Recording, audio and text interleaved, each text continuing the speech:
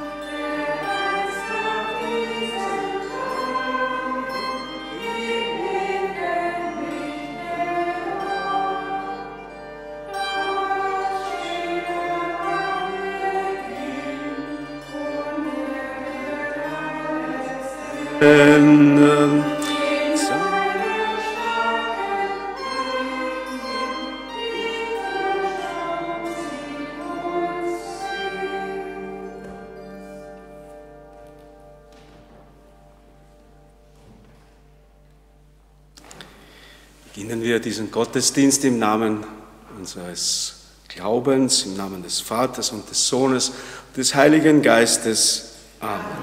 Der Herr sei mit euch. Und mit deinem Geist.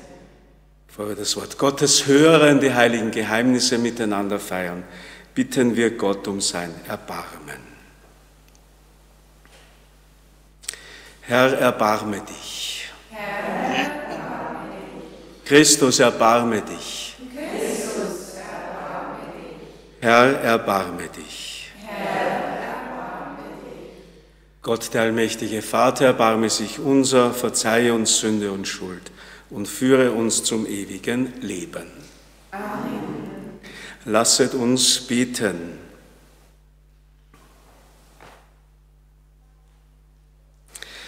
Gott, du Beschützer aller, die auf dich hoffen, ohne dich ist nichts gesund und nichts heilig. Führe uns in deinem Erbarmen den rechten Weg und hilf uns, die vergänglichen Güter so zu gebrauchen, dass wir die ewigen nicht verlieren. Darum bitten wir durch Christus, unseren Herrn. Amen.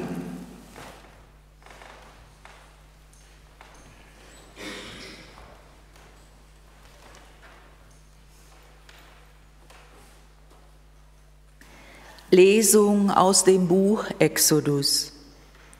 In jenen Tagen machte Mose alles, wie es der Herr ihm befohlen hatte.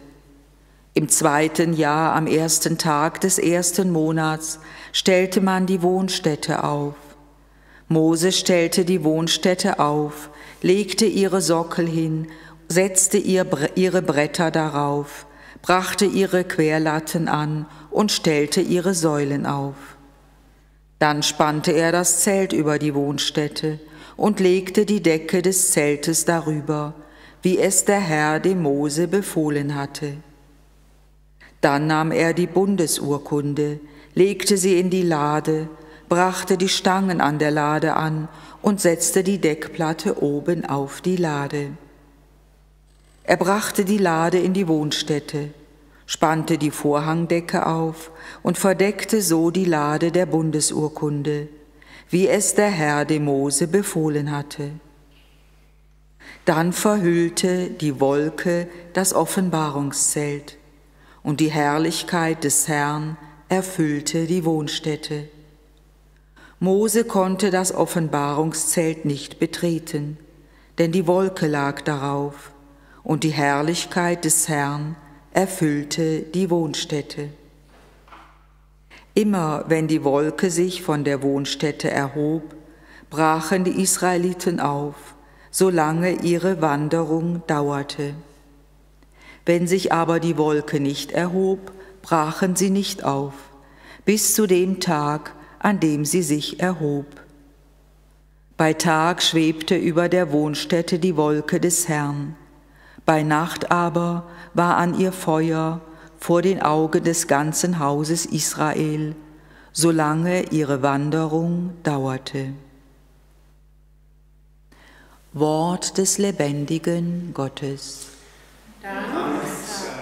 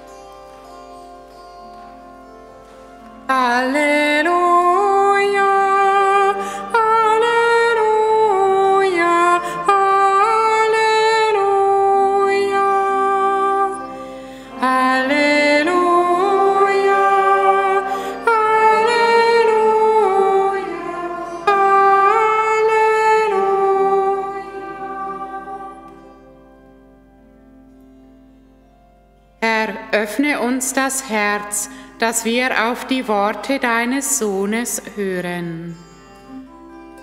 Halleluja, Halleluja.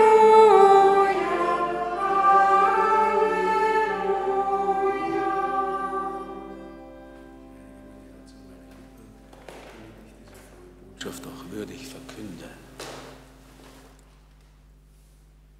Der Herr sei mit euch. Und mit deinem Geist. Aus dem heiligen Evangelium nach Matthäus.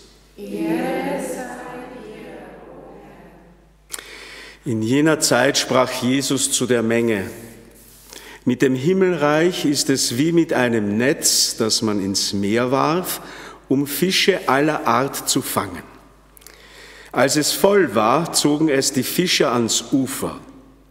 Sie setzten sich, lasen die guten Fische aus und legten sie in Körbe. Die schlechten aber warfen sie weg. So wird es auch am Ende der Welt sein. Die Engel werden kommen und die Bösen von den Gerechten trennen und in den Ofen werfen, in dem das Feuer brennt. Dort werden sie heulen und mit den Zähnen knirschen. Habt ihr das alles verstanden? Sie antworteten, ja. Da sagte er zu ihnen, jeder Schriftgelehrte also, der ein Jünger des Himmelreichs geworden ist, gleicht einem Hausherrn, der aus seinem reichen Vorrat Neues und Altes hervorholt.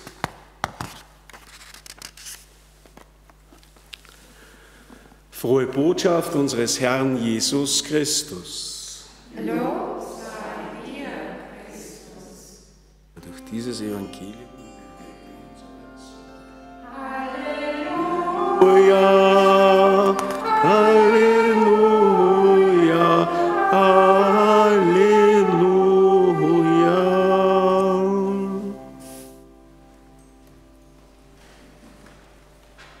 Ein Wort zum Evangelium. Das heutige Gleichnis von den Fischen ist das letzte Gleichnis der sogenannten Himmelreichsgleichnisse. Jesus verwendet meistens ein Gleichnis oder eine Parabel, um den Jüngern und allen, die ihm zuhören, etwas verständlich zu machen. Wir haben gehört, das Gleichnis von der Perle, das jemand findet und sie kauft, den Schatz, den jemand vergräbt. Wir haben gehört das Gleichnis vom Unkraut am Acker. Und heute als letztes Gleichnis das mit den Fischen. Mit dem Himmelreich ist es wie. Mit dem Himmelreich ist es wie. Die Guten werden Gott sehen und bei Gott sein und die Bösen werden in den Ofen geworfen, in dem das Feuer brennt. Das ist ein Bild für die Abwesenheit Gottes. Die Bösen werden dort sein, wo Gott nicht sein wird. Wenn wir genauer hinschauen, dieses Gleichnis mit dem Gleichnis vom Unkraut im Acker vergleichen, da haben die Jünger noch Jesus gefragt, Jesus, Herr, kannst du uns dieses Gleichnis erklären? Die haben das nicht verstanden und Jesus erklärt es ihnen. Und heute umgekehrt, man sieht da auch Jesus als den wahren und genialen Lehrmeister. Dieses Mal fragt Jesus die Jünger, habt ihr das alles verstanden? Habt ihr das alles verstanden? Gilt auch für uns alle? Können wir auch Ja sagen? Zeigt uns noch etwas anderes. Je länger wir bei Jesus sind, Je länger wir ihm zuhören, mit ihm unser Leben teilen, desto besser verstehen wir ihn.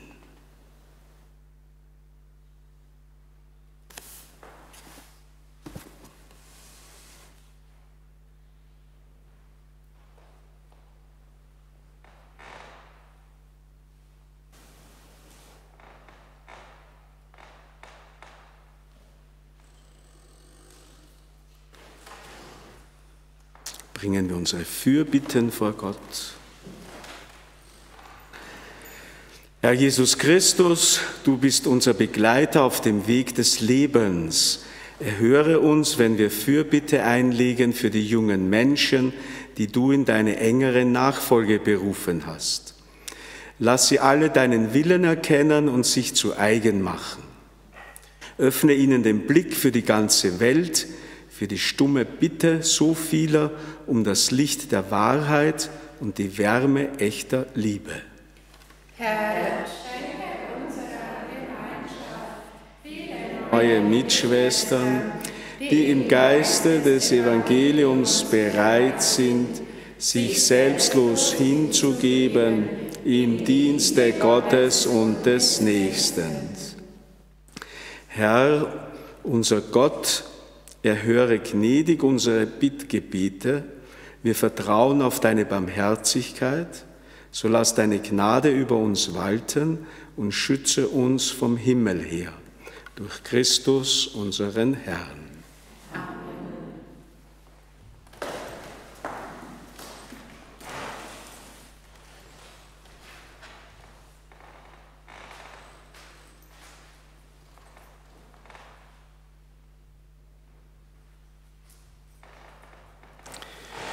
Gepriesen bist du, Herr, unser Gott, Schöpfer der Welt. Du schenkst uns das Brot, Frucht der Erde und der menschlichen Arbeit. Wir bringen dieses Brot vor dein Angesicht, damit es uns zum Brot des Lebens werde. Dann bist du in Ewigkeit, Herr, unser.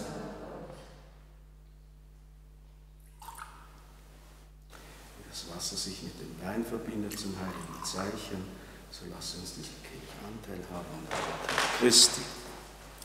Gepriesen bist du, Herr, unser Gott, Schöpfer der Welt. Du schenkst uns den Wein, Frucht des Weinstocks und der menschlichen Arbeit. Wir bringen diesen Kelch vor dein Angesicht, damit er uns zum Kelch des Heiles werde. Gepriesen bist du in Ewigkeit, Herr, unser Gott. Herr, wir kommen zu dir mit reumütigem Herzen, demütigem Sinn. Nimm uns an und gib, dass unser Opfer dir gefalle. Herr, wasche ab meine Schuld, von meinen Sünden mache mich rein.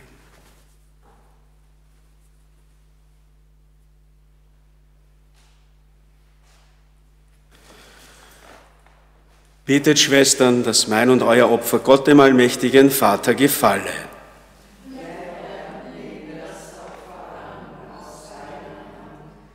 Zum Lob und Ruhme seines Namens, zum Segen für uns und seine ganze heilige Kirche. Gütiger Gott, nimm die Gaben an, die wir von deiner Güte empfangen haben. Lass deine Kraft in ihnen wirken, damit sie uns in diesem Leben heiligen und zu den ewigen Freuden führen. Darum bitten wir durch Christus, unseren Herrn. Amen. Der Herr sei mit euch. Erhebet die Herzen. Lasset uns danken dem Herrn, unserem Gott. Wahrheit ist es würdig und recht, dir, allmächtiger Vater, zu danken und deine Größe zu preisen. Du bedarfst nicht unseres Lobes, es ist ein Geschenk deiner Gnade, dass wir dir danken. Unser Lobpreis kann deine Größe nicht mehren, doch uns bringt das Segen und Heil durch unseren Herrn Jesus Christus. Durch ihn rühmen wir jetzt und in Ewigkeit dein Erbarmen und singen mit den Chören der Engel das Lob deiner Herrlichkeit.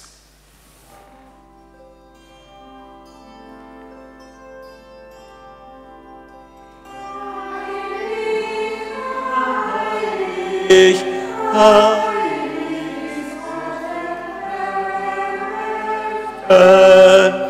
Erfüllt sind Himmel und Erde von deiner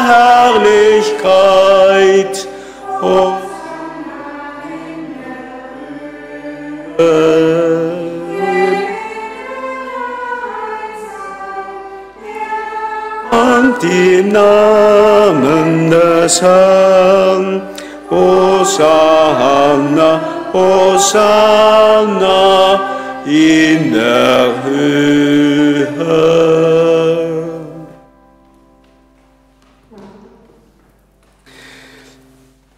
Ja, du bist heilig, großer Gott, du bist der Quell aller Heiligkeit und darum bitten wir dich.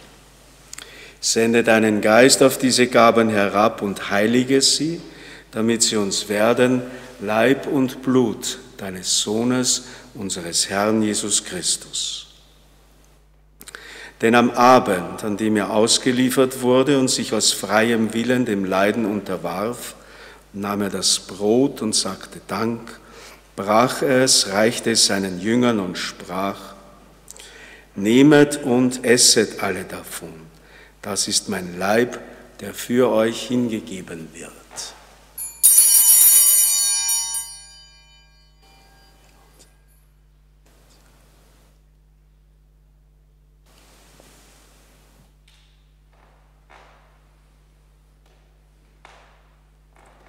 Ebenso nahm er nach dem Mahl den Kelch, dankte wiederum, reichte ihn seinen Jüngern und sprach, Nehmet und trinket alle daraus. Das ist der Kelch des neuen und ewigen Bundes, mein Blut, das für euch und für alle vergossen wird, zur Vergebung der Sünden.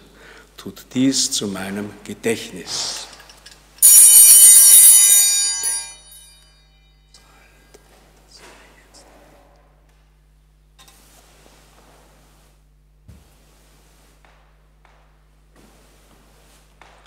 Geheimnis des Glaubens.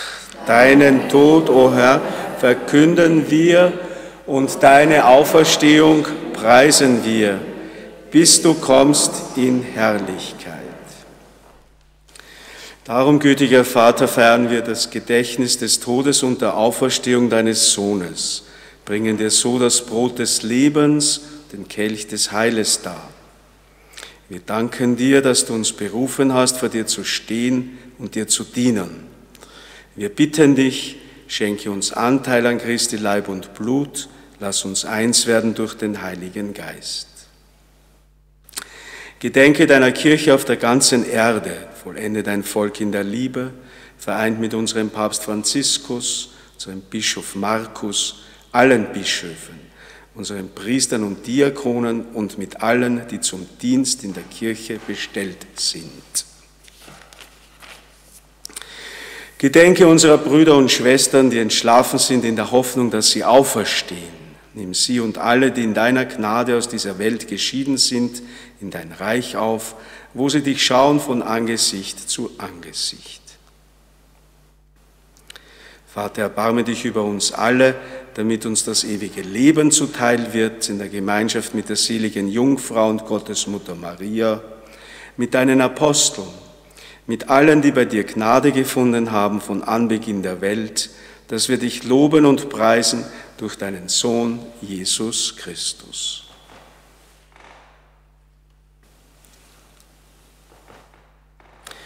Durch ihn und mit ihm und in ihm ist dir, Gott allmächtiger Vater, in der Einheit des Heiligen Geistes alle Herrlichkeit, jetzt und in Ewigkeit.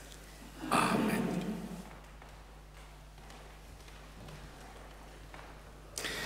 Lasst uns gemeinsam beten, wie Jesus uns zu beten gelehrt hat.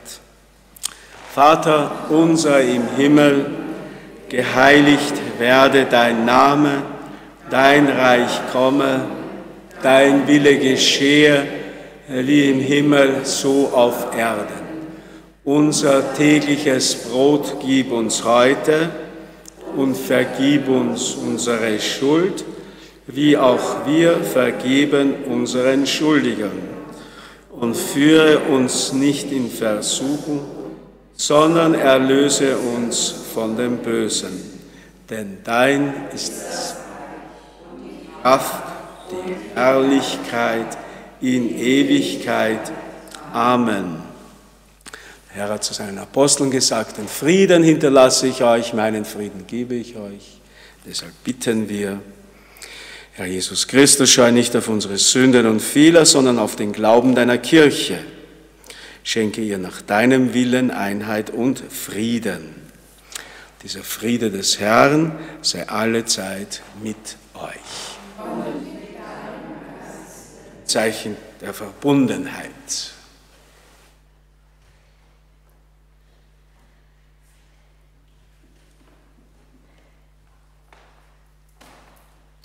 Lamm Gottes. Arme Gottes, du nimmst hinweg die Sünde der Welt. Unser die Sünde der Welt.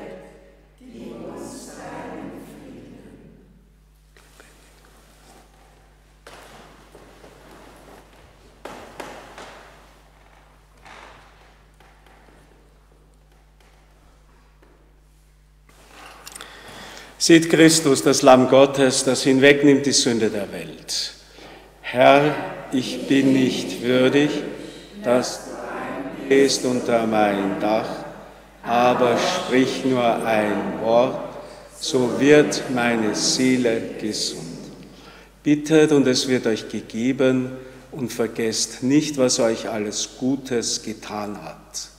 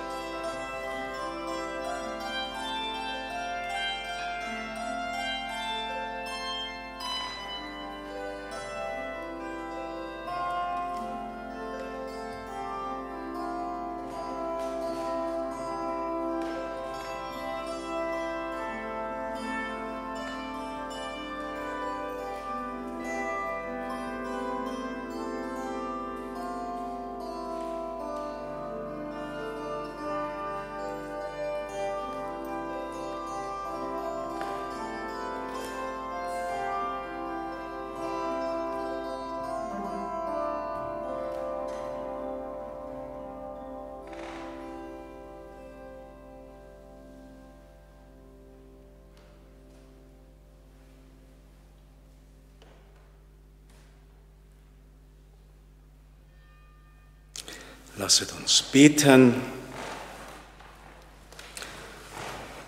Herr unser Gott, wir haben das Gedächtnis des Leidens Christi gefeiert und das heilige Sakrament empfangen.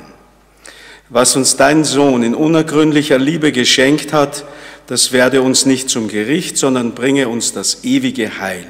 Darum bitten wir durch Christus, unseren Herrn. bitten wir um den Segen.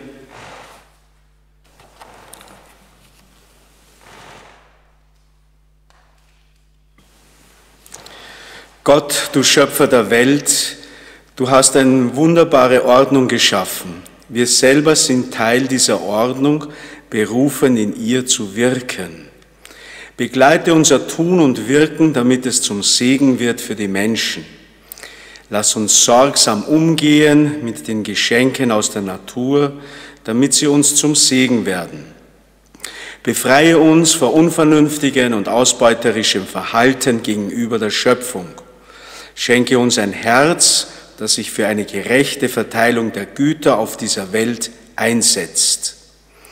Und so komme Segen über unser Land und über alle Länder der Erde über unsere Arbeit, ihre Arbeit, über unsere Früchte und ihre Früchte.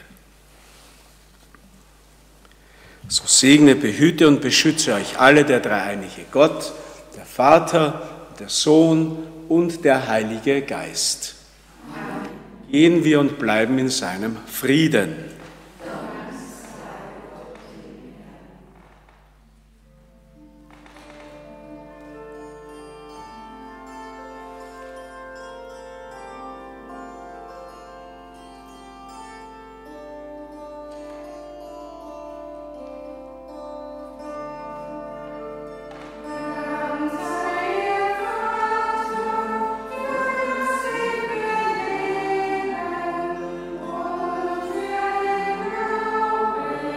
Den du uns gegeben, das will Jesus kennen und Vater nennen. Jedes Geschöpf lebt von der Frucht der Erde, doch das des Menschen Herz gesättigt werde. Hast du vom Himmel Speise uns gerieben zum ewigen Leben.